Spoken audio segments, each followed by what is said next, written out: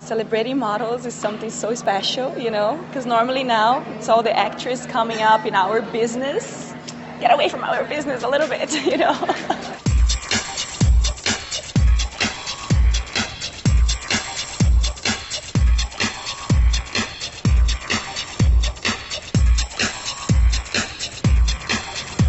We're shooting for the uh, May issue, which is uh, the models issue. Very exciting. We came in, we all like, you know, said hello to the girls because we know each other obviously, and then we just sat for a little bit and then we went straight to the makeup.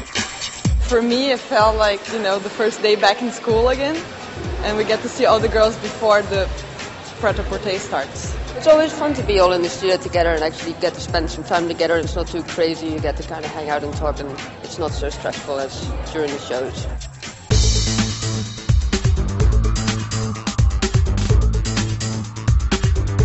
Steven is amazing, and I, and I have special feelings for him because uh, when I started almost 10 years ago, he was the one photographer that really pushed my career.